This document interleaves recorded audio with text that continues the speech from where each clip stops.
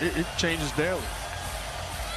Meanwhile, both these teams coming off horrible performances in their last outing Friday night.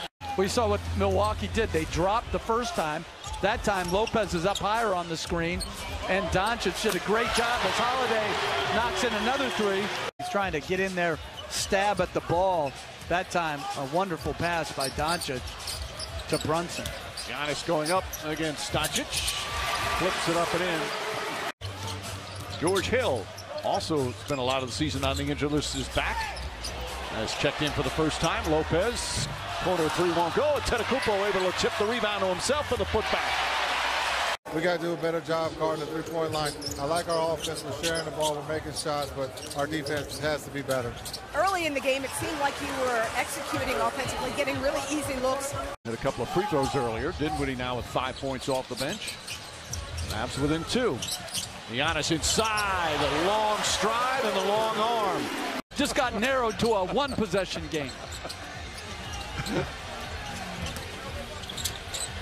Giannis rattles that one in. He's in double figures with 10. And the Bucks go back up by five.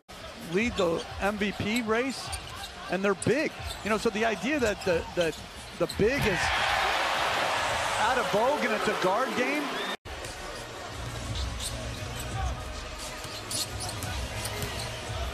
Giannis baseline jumper. His mid-range game mark. No more.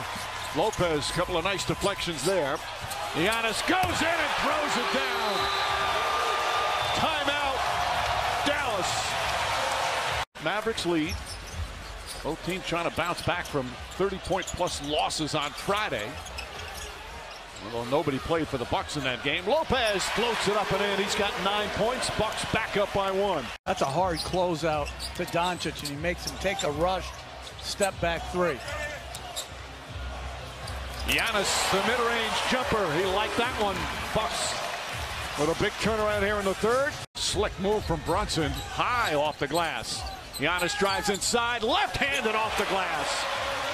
Back and forth they go. Middleton right back to Antetokounmpo, drives across. Oh, throws it down with the left hand. And he had great playoff games in the bubble as well. Giannis drives inside, throws it down.